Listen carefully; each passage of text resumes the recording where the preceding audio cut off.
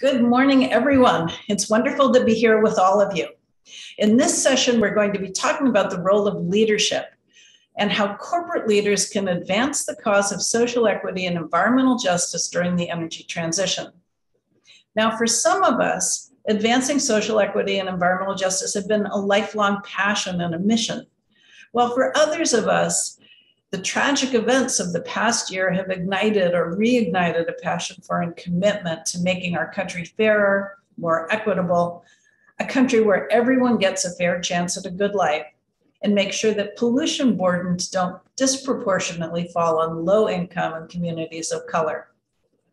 No matter where we are on this journey, we all agree the time has come for change. We need to do better, and each and every one of us has a role to play. Corporate and government leaders can help us do better in so many ways. They can create the opportunity and an environment for difficult conversations to help advance these issues. They can create policies and incentives to align business objectives with advancing the cause of social equity and justice. They can work directly with communities to break down barriers that get in the way of progress and they can encourage and create the opportunity for employees to develop and put into action new approaches for advancing these issues. And they can make sure their hiring practices and employee advancement result in a diverse workforce. In today's conversation, we're going to learn about four amazing women leaders and how they're advancing social equity and environmental justice in their organizations. First, we have Paula Gold Williams, former president and CEO of CPS Energy, a gas and electric utility that provides services to nearly a million customers in the San Antonio area. And in addition to her role there, she also serves on a broad portfolio of boards and committees and is the immediate past chair of the San Antonio Chamber of Commerce. So, welcome, Paula. Thank you for joining us today. So next we have Tracey LeBeau. She is the administrator and chief executive officer at the Western Area Power Administration, or WAPA, as it's as it's known, and she's held this position since August of 2021. So WAPA is one of four federal utilities that markets and delivers low-cost federal hydropower from 57 hydro, hydro, hydroelectric plants across 15 different states. Uh, before joining WAPA, uh, Tracey was a political appointment appointee in the Department of Energy from 2011 to 2014. So welcome, Tracey. And next we have Carla Peterman, uh, currently the Executive Vice President for Corporate Affairs and Chief Sustainability Officer for, the, for Pacific Gas and Electric, a utility that serves Northern and Central California. And earlier in her career, uh, she served a six year term as a commissioner at the California Public Utilities Commissioner, where she did an awful lot of things, including leading the adoption of the first ever utility scale uh, energy storage mandate in the country and also investment in the adoption of electric vehicle charging infrastructure and implementation of California's renewable portfolio standard. And prior to that, she served in the California Energy Commission. So, welcome, Carla. And finally, we have Cathy Zoi, who is the CEO of EVgo, a public fast charging network with stations across the United States. And she brings decades of experience in clean energy, including investing and working policy communities. And earlier in her career, she served in the Obama administration as the Assistant Secretary and Acting Undersecretary at the Department of Energy, where she oversaw investment of more than $30 billion in, in clean energy infrastructure. And in the 1990s, she was chief of staff uh, for environmental policy in the Clinton White House, and she pioneered the Energy Star program while at EPA. So, welcome, Cathy. So, anyway, an incredible group of leaders here. And the way the session is going to work is I'm going to ask a series of questions to the panelists. Uh, then we're going to open it up to questions from all of you. So, please do send in your questions. And this is a really great opportunity to hear firsthand from people, uh, great women who, who have so many experience in so many different ways. So, So please do get us those. Okay, so we're going to start. So, question number one. So, I think that every one of us has a personal story or an aha moment when we realize that we simply have got to be doing a better job. We need to do a better job eliminating the injustices that some people feel face every day. And we have to do a better job making sure that everyone has a chance for a good and healthy life. So I'd like to just start by asking each of you what were your aha moments and what's your personal story? And how have these shaped the lens through which you look at social equity and environmental justice? And what does that mean to you? So I'd like to start with Paula. Uh, so welcome. Thank you for joining us. Well, Sally, thank you so much. And uh, it's very nice to, to be with all of you today and on such an important topic. Um, look, I, I, think what I would start by saying is uh, I'm, a, I'm a student of the industry and I'm actually an accountant by education and training. I'm not an engineer. And so I've, I've always looked at my opportunity to lead uh, an organization and energy as um, luck to a great degree. I've make, made a lot of uh, choices. I, I come from um, you know, a, a, background where there wasn't privilege uh, in my, you know, overall. And I think a lot of times when people think that they're they're talking to CEOs that that, that they don't they don't know, and um, actually, uh, I do know from that experience, and it's always with me.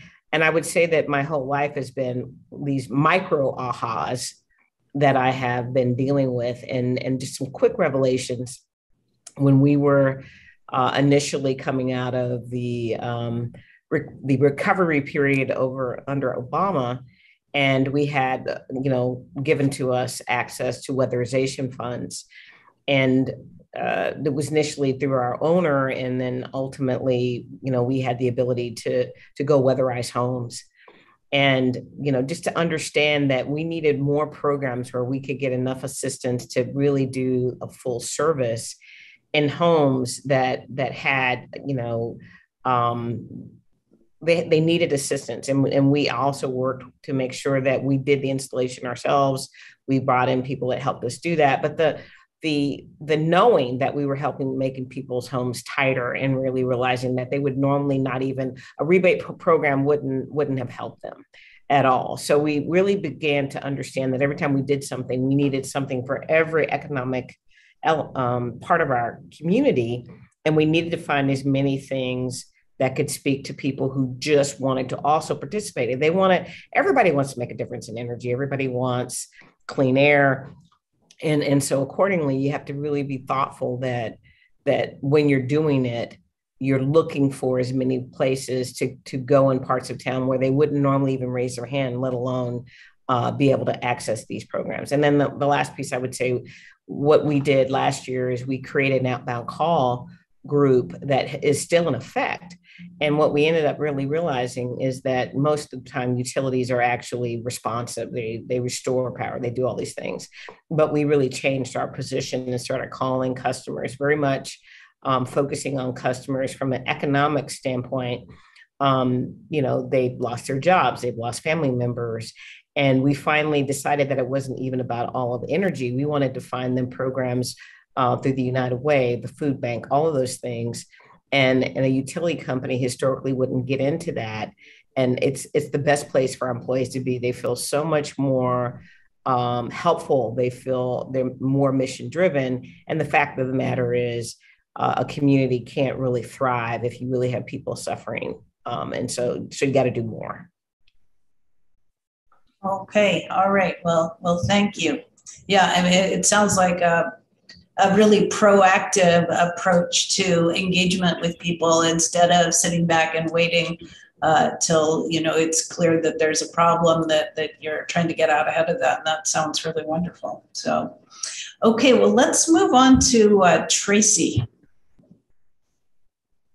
Great, thank you. That's a great, and it was a great, it's a great question, Sally, because I think it can lead us into a lot of different areas. I think I've had a, a couple of ahas throughout my career um, and continue to have them. Um, and, but I think part of it, one of my initial ones early on in my career and and actually right after I'm law trained, uh, I've always gravitated towards law and justice issues, um, and and natural resources and how those the how those uh, issues play out, you know, in communities, uh, both negatively and positively.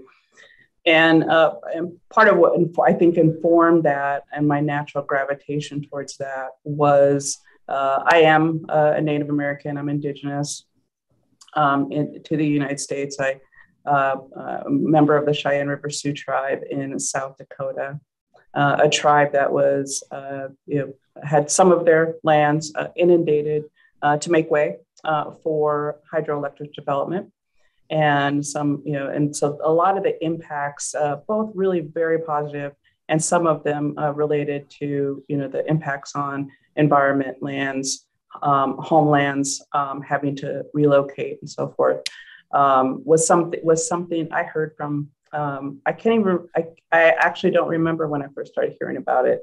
Um, it affected both my both my parents, um, and so I've always been kind of hearing about uh, the, those types of issues uh, from very early on. And when I was uh, getting ready to graduate law school, and I thought uh, one of the uh, when I started entering into the professional um, my my professional career i started you know thinking to myself and looking at you know looking at those and um, you know in the business and uh, being a student of that of leadership and how people successful people operate and move around in the in the business um, you know is very you know very uh, you know aggressive um, talk you know loud um, a lot of very focused on you know uh, performance um, and very you know individually focused where i was coming from a culture and community and a family that was very a very high value put on humility um, and very high value put on uh, you know service to community thinking your world view is you know your your your extended family and your community. And you know so it was a, it was a tension early on um, you know in my career to kind of sort through how do i uh, show up in a professional workplace um, and stay true to what you know I the way I have been raised in my whole worldview, and you know that indigenous indigenous very particular indigenous worldview that is you know very thinking long you know uh, seven generations ahead, very focused on um, you know extended uh, familial type of relationships. Um, I am glad to kind of see um, these days uh, and particularly right now, that I feel like the industry is more accepting of that um, and, and embracing it and seeing the value um, of those types of approaches to how we uh, develop our people, how we develop our business, and what success means. And I think that that's been an aha throughout my career that I don't feel like it has to be an either or. I feel like there's a way um, to, res- you know, to respect and um, and incorporate a lot of those values into how we lead. Uh, and now here I am at Western Area Power, um, who, you know, we are very, very public service oriented. Our, our workforce is incredibly passionate about the communities that we serve um, and that we provide low cost hydropower to, low cost clean energy to, and how that is real, a real building block uh, for a lot of very rural and a lot of disadvantaged communities throughout our 15 state footprint. Um, and so that, that resonates very deeply with me. And I'm just so proud and, and uh, thankful to be working at a place that, and with people that it, it, it means just as much.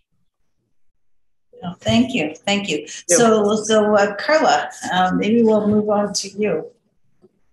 Sally. Um, well, in terms of my own personal story, I got interested in energy first from an interest in environmental justice. I went to a historically black college and took an environmental justice course and very much thought I would be an environmental attorney. I was very moved by efforts to close power plants, deal with local air pollution. And then I had a professional aha moment in graduate school where I started learning about economics and energy. And I said, well, I could have a more of an impact or just a different type of impact if I'm involved in the production of energy itself. If we can design energy systems in a way that are more just and equitable at the onset, that is an easier process than after the fact trying to dismantle an energy system and deal with consequences because at that point you've already suffered the community impacts. Um, so in that, I pursued this career in energy and working in utility regulation now at a utility. And I've always been struck by the fact that we are trying to solve for very complicated things that really seem hard to solve altogether safety, reliability, clean, particularly in California, um, and affordable. Um, and so there have been times where my career where I felt pretty helpless and then oftentimes frustrated when environmental justice advocates would say, but you need to do more, but you need to do this. And I think, oh, if they only understood how technically hard this is and how what we're already doing is on the cutting edge, you know, then they would give us, they would understand more. Um, and then I, the aha moment I had related to that was I was in a community workshop at one point and we were talking about what it really means to have a community centric ESG focused policy. And the comment was first of all, you can't do it at the end, you've got to build it into the beginning. And then also, the community members are experts in their community. They don't need to be experts on the technical system. They don't need to be experts in energy. Like, that's my job. Their job is to bring forward and represent what is happening to them and their community. And it is it is core to my job to integrate that. And so that stopped me from feeling frustrated or helpless and more so feeling empowered that I have this awesome responsibility and opportunity to take that input, take that expertise, combine, combine it with technical expertise and economic expertise to deliver.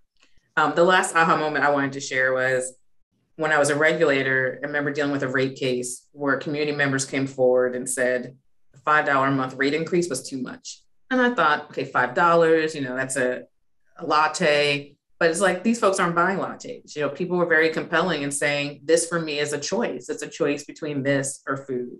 This is a choice between shelter.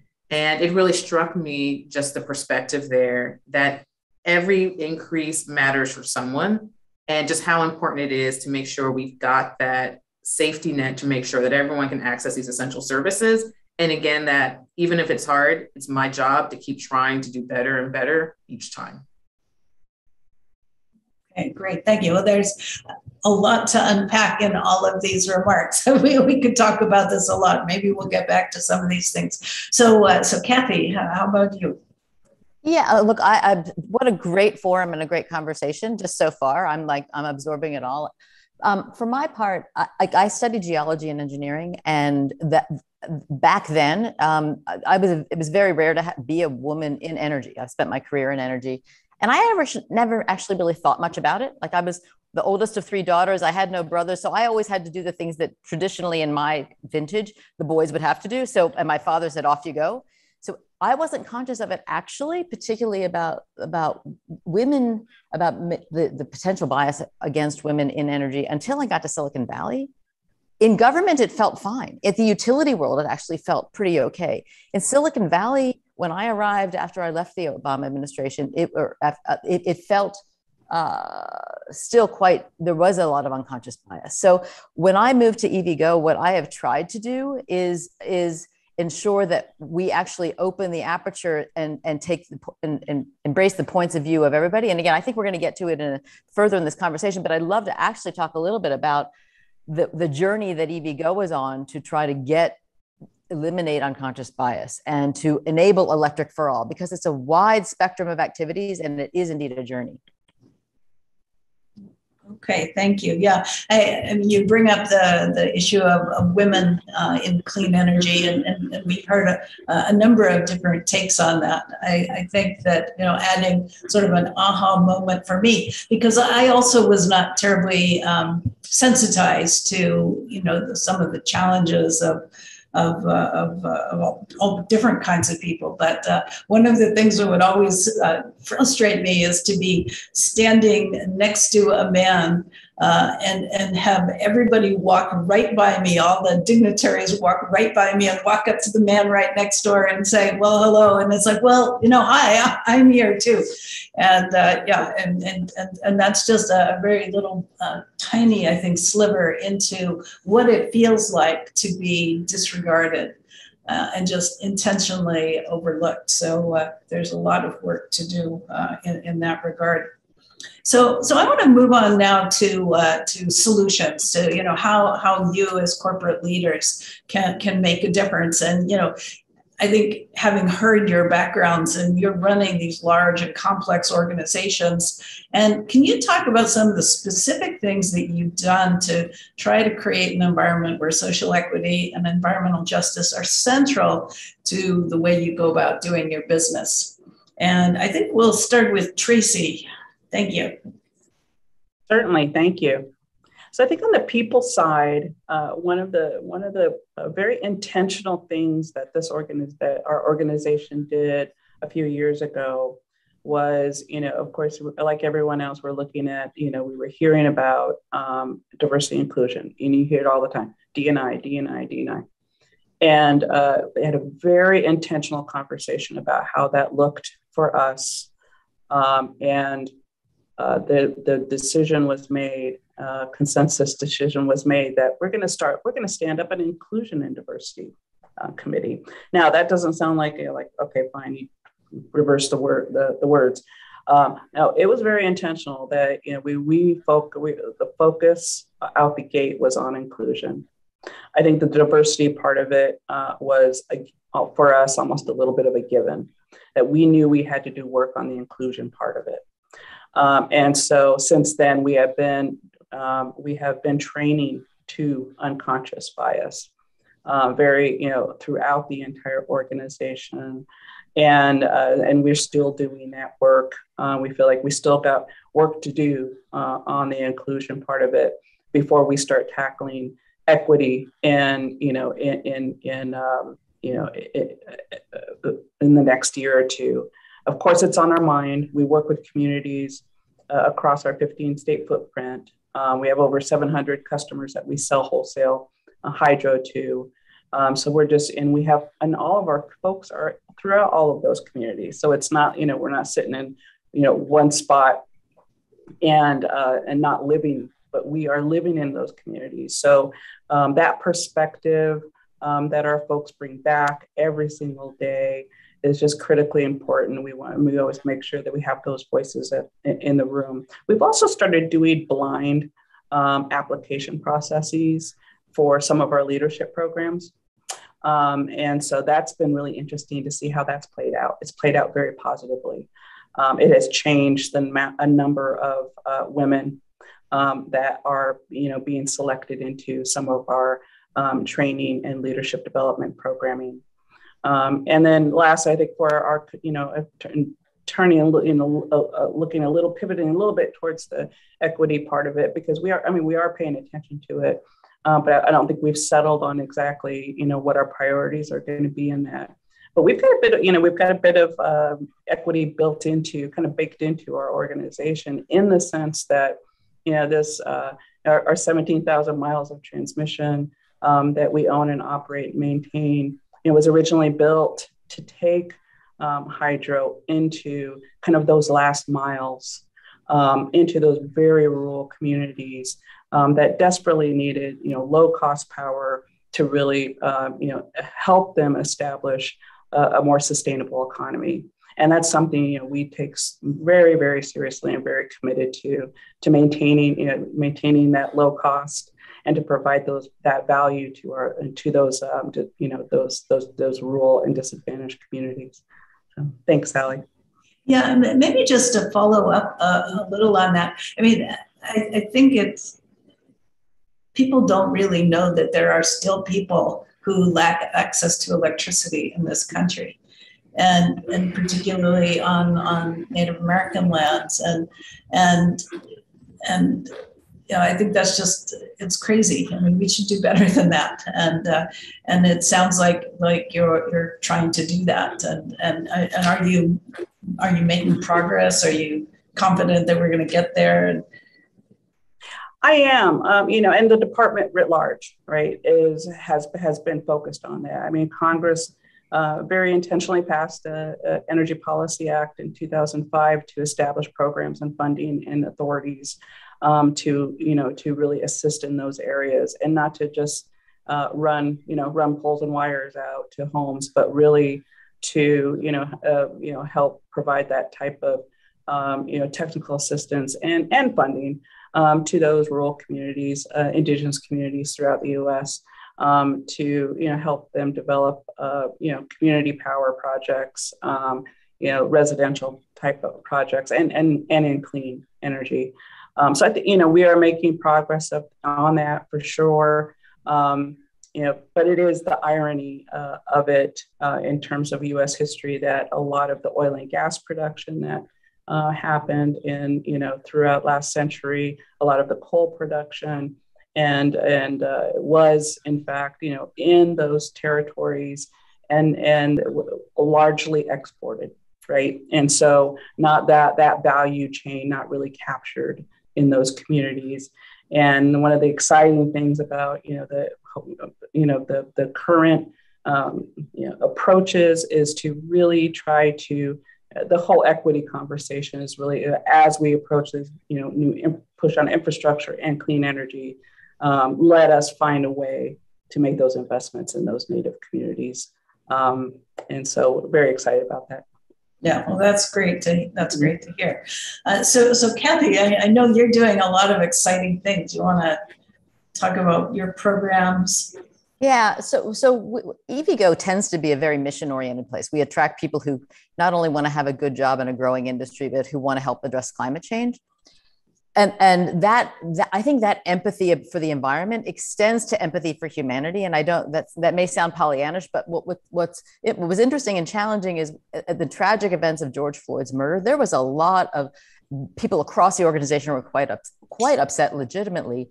So what we did is we we did a survey and said well, what can we do about this? We're an action oriented place. What can we do we had the vast majority of people across EVgo said, here are my thoughts. Here's what I do. We, we put those into, we created a bunch of working groups that, that touched on training and unconscious bias, recruiting more effectively to, to take advantage of diverse points of view in helping the organization grow, advancement within the organization once people were there, because it turns out that across the top of the organization, we're pretty monochromatic and we need to do better than that.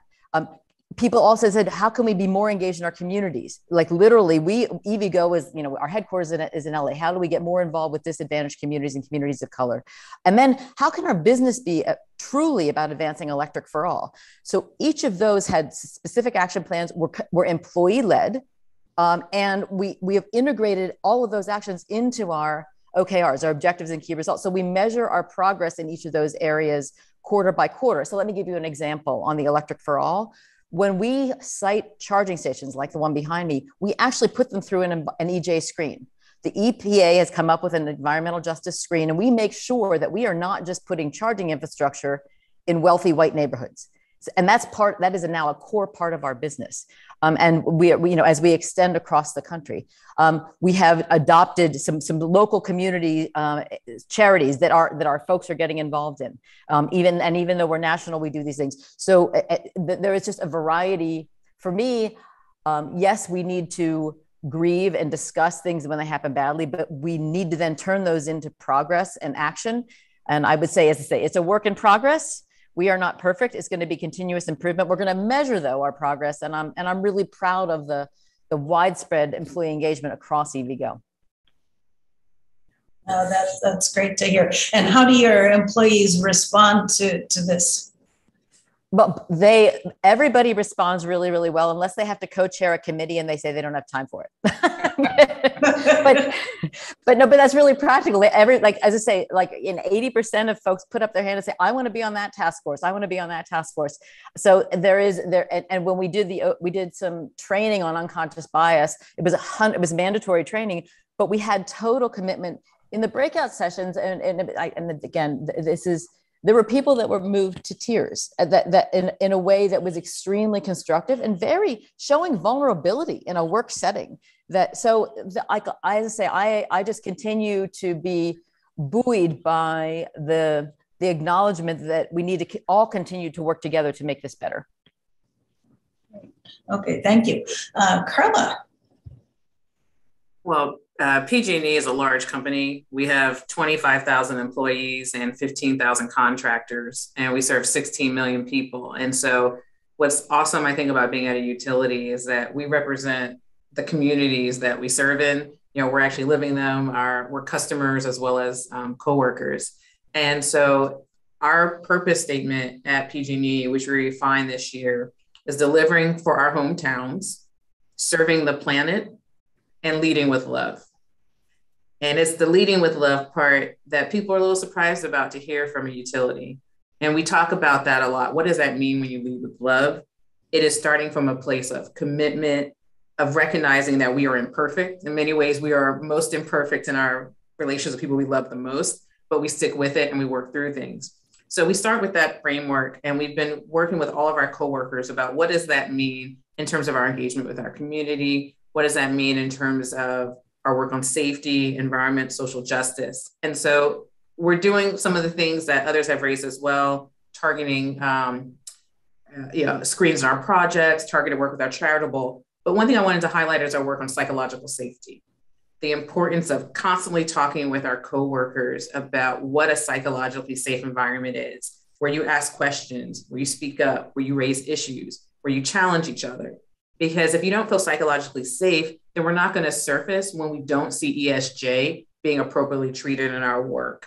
Um, and managing an external oriented organization, and I've got the reps who are in the field who are working with our tribal partners, for example, our disadvantaged communities, having them feel safe to raise issues and say to the engineer, you know what, I get it, we got to do this reliability, but we didn't co-create this the way we should have with our community is first and foremost um, a matter of really importance.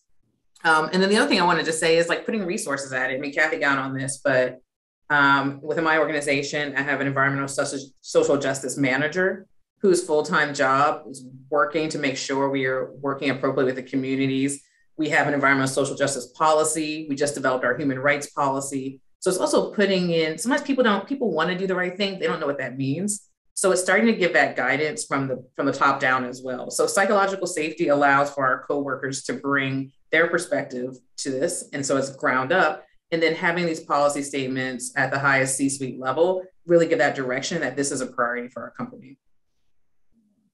Thank you. You know, I, I, I like that you talk about a psychologically safe environment. And what I also think about is just trust. You know, to, to have a safe environment, you have to trust people. And and actually, this is the second time in your remarks that you sort of brought up this idea of of well, what to me underpinned it was trust. You mentioned that you know when you were working with the communities, it's the community's job to to advocate for their concerns and bring forward their concerns, and and it's your job to bring forward technologies and, and so forth. But for that to work, in the end of the day, there really has to be trust uh, on, on both parts. And you know, I think the question is, how do we create this more trusting society? Uh, that is trustworthy and trusting. Well, you know, I gotta say too, when being a utility and being in government, these are institutions that have been around over 100 years. Um, and so there's a long history of circumstances where we haven't had trust, right? And we talk a lot about how the trust bank is easy to withdraw from and hard to add to. And so, first and foremost, I think just acknowledging where you haven't done right. You know, we're owning, owning, owning our history and owning our desire to do better. Sometimes people just want to hear from you that you understand that things haven't been going as well as they should have, right?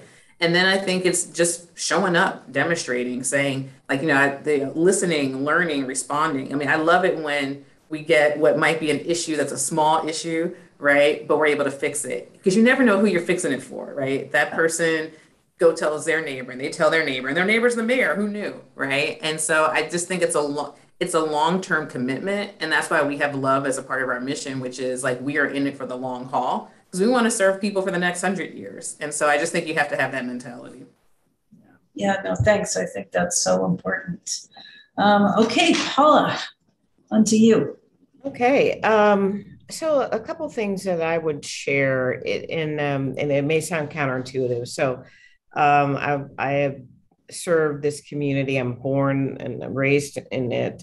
And when I became CEO as an African American um, leader, as an African American person, in reality, it, it, kind of felt like the reverse racism conversations would come, you know, we're, we're kind of an undercurrent, right?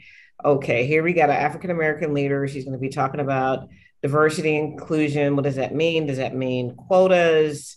Um, you know, and and and the conversations, although um, you know, would, would touch on these aspects. There are people getting going to get potentially either awarded jobs or contracts with us, and they won't necessarily be the best performing entities. And I, I, you know, I think the art for me has been in the conversation and to look past uh, this the fears of what those unintended consequences are. And then when people would say well is it possible that we didn't pick the best candidate that or the best vendor because you know we we were looking for a diverse vendor? And i you know just having the conversation with people that that again that's an unconscious bias.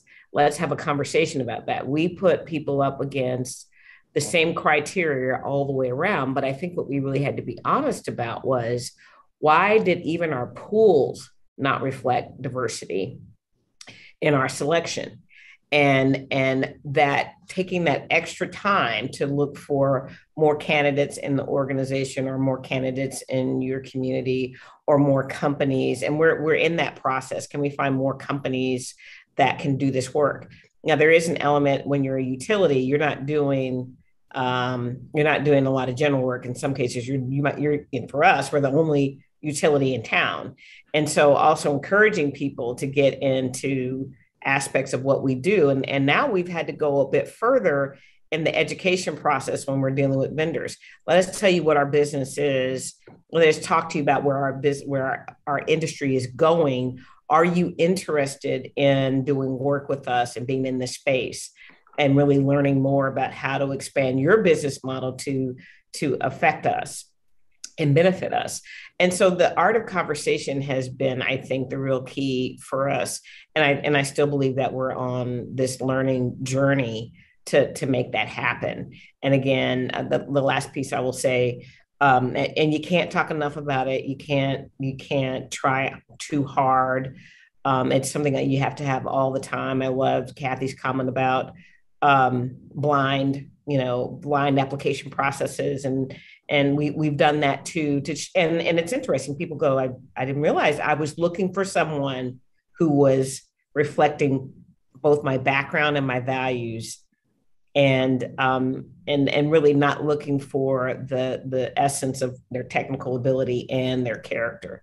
So I, I would tell you the, this is a journey that cps energy has been on. We have a very diverse team here um, we try a lot of things. We move people out of their expertise into other roles.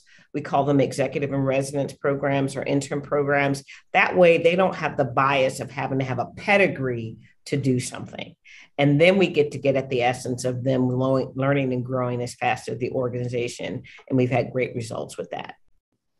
Yeah, yeah that's good. I mean, you you started the conversation with, um, uh, you know, the the sort of presumptive view that sometimes that you know by picking a, a, diverse candidate or a woman candidate that it's because that of, of that. And and i don't think people understand how undermining that is to all of the individuals. You know i think all of us as women probably at one time or another have, have felt that people think that well we're in these jobs because we're women. And and that's so undermining. I think we just have to work so hard at changing that narrative.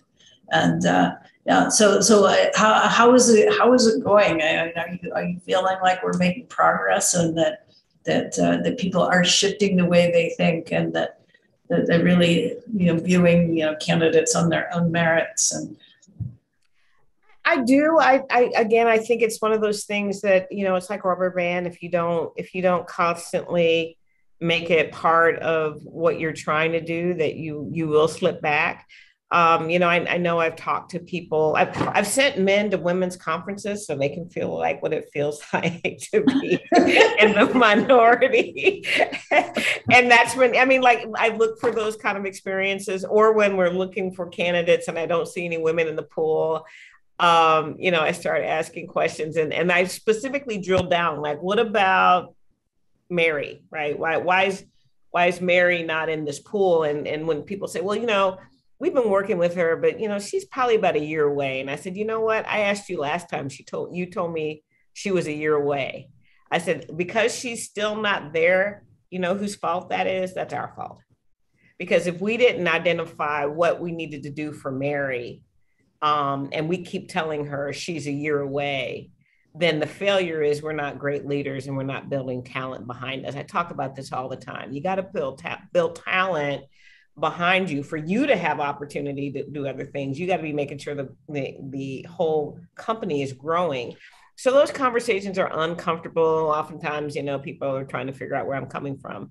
And and and really and truly, I just want to make sure again that people get treated fairly and they get a chance and they get a chance to grow and nobody's born an executive or born a pres, you know, president, a VP, you know, a business leader. It, there's so much that we can do for others, and then again, that extends to what you do for others um, in your mentorship outside of the company and helping, you know, uh, with with students get, you know, um, associated and kind of immersed in our in our what we do as an industry and how exciting that is. But you got to care. You got to be you got to care enough to challenge your own beliefs about what you should be looking for and again i still say say it's a balance of technical but even more so these the qualitative emotional intelligence for someone to to really be a balanced leader uh, let alone a balanced um, team member and you might as well look for people with very diverse backgrounds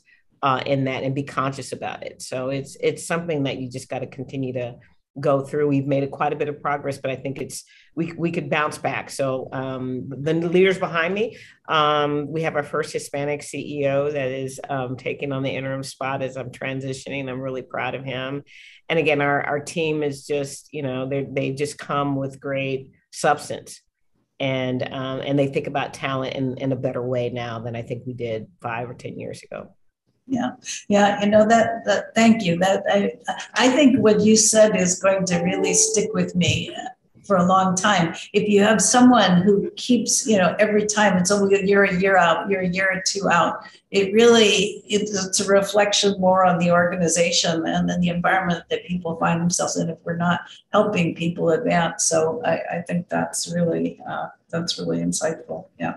Well well thank you. Um, Okay, what I wanted to do now is to have a conversation really amongst uh, amongst all of us about you know what are the things that that you think work the best. So if we imagine we've got you know this incredible C3E uh, audience here listening to this, and many of them are you know emerging leaders and and they need to know what are what what are the things that work the best and and what are things that you've tried that actually haven't worked at all because I, think that's equally important to understand you know what's not worth the time or at least you know if, if you're going to try it again do it differently and uh, and and maybe Cathy, if you want to start, and then really just um, you know just chime in and, and let's kind of figure out. Let's give some good tools for success.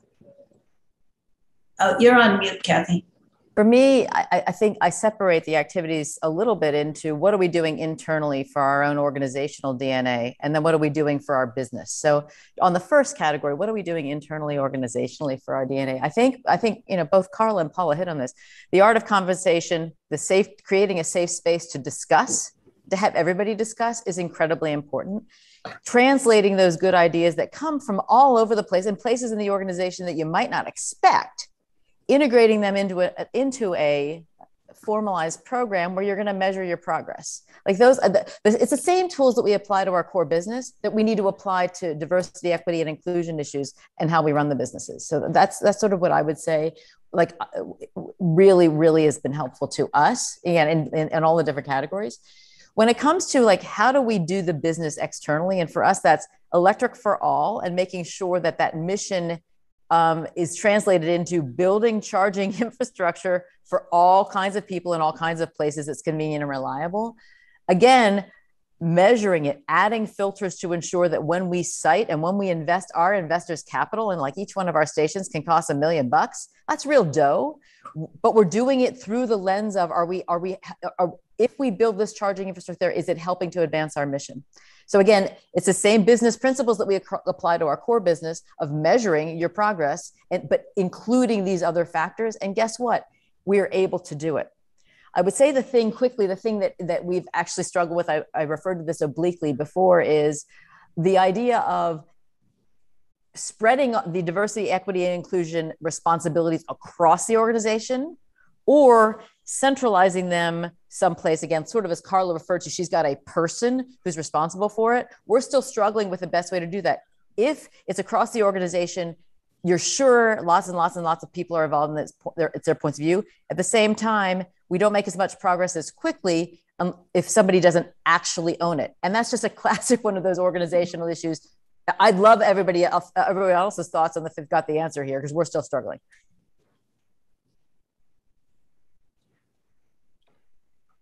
Uh, so, so the rest of you, and any uh, any thoughts or follow up to Cathy's question? Hey, this is uh this is Paula. Actually, Kathy, I would say that we struggle with the same thing as you know, as well. What's what's the best way to do that?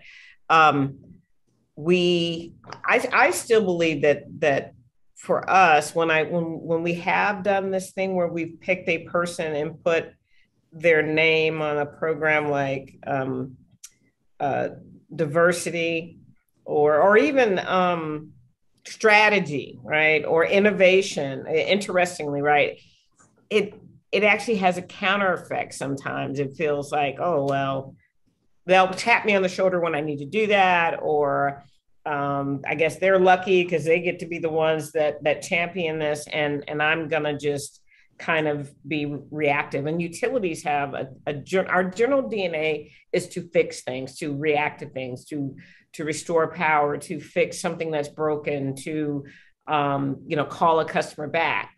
Uh, and so for me and, my leadership, I've I've really tried to get more and more people to understand that strategy is part of your job, innovation is part of your job um, thinking like you want to develop talent and and and ensuring that the talent pool that you're looking at when you're making individual hiring uh, decisions is as important as anything that's done anywhere else in, in the community. So I get the whole thing about that. What I try to do, uh, have tried to do in the past too, is to get every um, senior leader in our organization to own that within their own organizations but but that's complicated too. I don't think it's been perfect. I think maybe it should be a bridge of both, and that's something that I think uh, you know my successor is going to have an opportunity to focus on.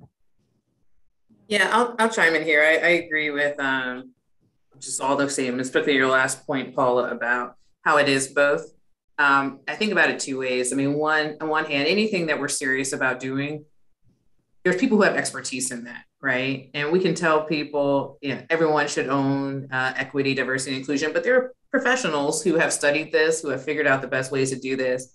And I think it's important to honor honor that and hire people who where this is their expertise.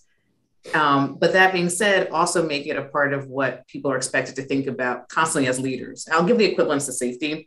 You know, at PG&E, we thought a lot about our safety journey and really invested in that. Um, the same when I was at Edison in the PUC, and you have your coworkers who are focused on the discipline of safety. Um, but we also expect everyone to own safety. So one of the things I ask my leaders on a regular basis in our check-ins, and this is what I would say is kind of a, I think a good practice is, we say, how are you, how have you owned safety as a leader?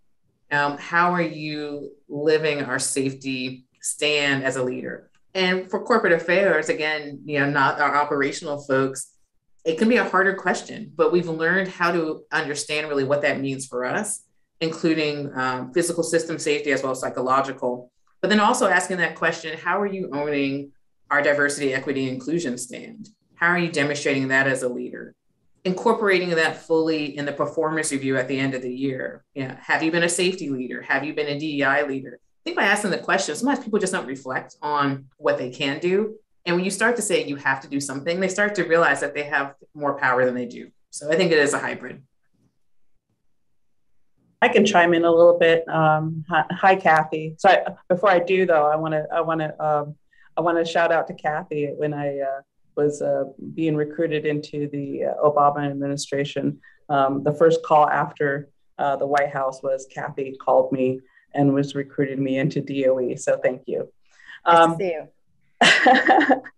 it's so um, you know for us you know uh, the struggle is, is real. Um, we have uh, established an inclusion and diversity committee across the organization, and we were very uh, thoughtful about um, both getting management and you know staff, um, but also pulling out, you know, uh, reaching out to the craft to make sure that we've got linemen um, represented and engineering represented. Um, so we were really very thoughtful about kind of the up and down and across. Um, and then we've uh, established, and then we have executive sponsors to have, you know, some um, not total ownership, but guidance um, over you know, how, how things get rolled out. And much like uh, what Carla was just talking about with safety, we're also um, rolling out a uh, human performance just culture um, initiative across the organization because we just really want to infuse safety across the entire organization. And I feel a little bit, I feel the same about inclusion and diversity um, because I think it needs to get owned across kind of across the board. And thanks. Yeah, I, I think that the Carla's uh, comment about safety is really interesting. So in the Department of Energy Labs, um, there was a time when safety performance wasn't as good as people wanted it to be, and the Department of Energy rolled out an integrated safety management program that was a hybrid model with deep expertise, but also distributed uh, responsibilities throughout the organization. And what really struck me is, is the training was actually so good and so profound and measured so well that I actually carried it home to my personal life. And so all of a sudden, my house, my family, you know, walking on unsafe places. You know, I was just hyper aware, and and I think that that's a huge opportunity if the workplace could also be a place that makes us think not only about when we're working, but thinks about our home and our community. And if we could get diversity, equity, inclusion, you know, part of that fabric, that could be really a catalytic in terms of helping to advance this much more broadly. So we've got great questions from the audience, um, and we're using Slido. So the way this works is that somebody puts up a question, and then other people can vote for it. And so these are ranked according to uh, what you're all most interested in. So we'll start off with the, the first one. And it says Does the conventional imperative of C Corp profit hinder energy equity? And the second part is should all shareholder utilities be B corps, profit plus purpose? So, uh, yeah, and I think this is for any and all of you who would like to comment on that.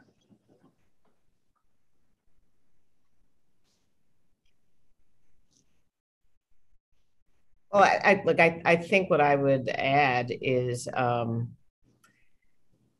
we're we're here in San Antonio. We're we're a business owned by a community, but the fact of the matter is, um, especially before COVID, right? We all realized that the world was small. Um, I had the uh, fortune of talking to CEOs in different countries. The energy issues that are out there are, are fairly common. Um, uh, whether you know you're, you're, working to get away from fossil fuels and the fact of the matter is there's just a whole lot more investment that has to happen in trying to figure out how to take baseload plants and replace them with green, green or and clean technologies and to get to these goals. So so that is a real thing um, coupled with the social justice. You know when you watch social justice issues and you and I, I always say you know what what the sacrifice that we took um, and losing Mr. George Floyd to something that historically was associated with hate and racism that is not new. This is the you know that reflection um, just brought forward you know hundreds of years of of issues and discrimination. So this is now squarely in our lives. Energy issues are squarely in our lives. And so I think every organization and, and particularly a business needs to have the dynamic of how to make to be viable moving forward, but also making sure that these aspects of um, how do you do it in the most socially just way? How do you improve the environment? How do you make sure that people are kept safe, that people are felt that, that they feel like their their energy systems are secure? um, and making sure that everyone has the ability to afford an essential service. Um, all of those things have to be wrapped up and balanced, whether or not you are um, in one aspect or another. But I think businesses no longer have the opportunity to just go to the financial bottom line. And I'm a financial person. You've got to do it through this this additional prism, and, and hopefully, I'm I'm addressing some of the the, the uh, interest there on both sides in that question. Okay, and I'll, I'll just a quick thought on that. Well, I was just going to add, um, yeah, I agree with Paula and just say, first of all, it's in our investors' interest that we incorporate environmental social justice because we need our customers to pay their bills and everyone's our customer. Um, yeah, so that's first and foremost. And so if they're not able to afford their bills, it's a problem for us. Um, it's also an issue where if they're not happy with their service, we're also regulated entities. And so our regulator will will come down and give us direction. So the more we can solve that ourselves. And then just practically, we're seeing investors highlight why this is important. So people feel it's important, investors feel it's important because they feel socially motivated. But again, it's good financial interest. The explosion we have seen in ESG uh, ratings, metrics, um, services that are being used by investors, reporting um, you have the SEC looking at rules around, you know, climate change risk disclosures. There's so much of focus on environment, sustainability, um, human rights that it is just becoming a fundamental part of what we do and what we're reporting out to investors in terms of how we run our business. Okay. I think we're going to move on to the next question because um, we're actually starting to run out of time. But uh, so this this part of the sponsorship of C3E are a number of universities. So I think that's the where this question is coming from. But the question is is how can education support the triple challenge of sustainability, workforce diversity, and environmental justice? Well, I, will jump in again. Um, San Antonio, uh, seventh largest uh, city in the U.S., but we have a huge um, issue still with uh, low low graduation rates from from high school, and we also have uh, literacy issues here. Um, it's not it's not rampant, but when um, I mean it's not the majority, but if you have like twenty five percent of your population that have these challenges, you understand that structurally uh, your community is going to have this element of, of suffering. But I, I think we here at CPS Energy really believe that education is key, both in terms of foundationally making sure that that when you know we're reaching out to parts of the community where it's not maybe as as comfortable for them. I mean, just going through the pandemic and realizing how important the digital divide was that impacted students um, you know those kind of things and and and what we can do to help kids catch back up again talk to them about their careers keep them interested and really encouraging them to go to college we have a lot of colleges and universities in town but we have this huge gap about people who don't think that they that they're college material or, or those kind of things but we're not to we're not to solve these energy issues if we don't get more and more people um, educated involved from every aspect of a career. You don't have to be an engineer to have an impact on this industry. Um, what you really have to have is passion, creativity, and, and an interest in solving problems, as we talked about earlier. So, if we don't, we've got to fix this educational um, gap that I don't think, in some cases, are is really getting smaller. It's it's uh, substantially structurally, in some ways, either staying a constant big issue or getting bigger. Um, you know unconsciously as as we're trying to solve other problems yeah, Sally, if I could just chime in to add on, I mean, Paula focused uh, more on the on the high school education. I would say um, um, when it comes to the university level stuff, and during my wonderful years of working with you closely, teaching kids at Stanford, I think the thing that that that we were doing that was really appealing is we were we were we had a multidisciplinary approach it almost builds on what Paula was saying about you don't need to be an engineer. The classes that I taught had engineers, historians, English majors, poets, people from the business school all coming together collectively to say, look, we're looking for a clean energy future. What can we do together to invent tomorrow? And those multidisciplinary programs often often have challenges getting funded or sustained funding support from university from university leadership because professors tend to be very, you know, like this is my discipline. I got a PhD in this thing. But I actually think the benefit of having multidisciplinary, you know, training at at a university level is incredibly, profoundly important for changing the world. And Sally, I would I would just want to chime. I, I would agree. I would agree with that, Cathy. I think um, right before COVID, I was teaching at Stanford as well, and I can tell you that you know the the passion and multi multidisciplinary um, students that we got. Um, I was teaching on sustainability and clean energy, and that such passion and interest and multi multidisciplinary approach was just amazing. And I think, for as far as academia goes, we just really got to continue the work of getting diverse um, student bodies in there to bring their perspectives um, as well. So th- thanks, Sally. Okay, well, thank you. You know, we've actually come to the time when we need to wrap up. So I want to thank the panelists for bringing your experiences, knowledge, and wisdom, and, and so being so engaging uh, on this discussion. And thank you all for your leadership. I feel much more comfortable knowing that the, the wonderful people like you all are in the, the, the helm of these important companies. And thank you for inspiring us all to do better, uh, to give us ideas about how every day we can do our own parts to make the world more equitable and more just for everyone. So thank you very much. And, uh, and to the audience, uh, thanks for joining us. And uh, we hope you enjoyed it.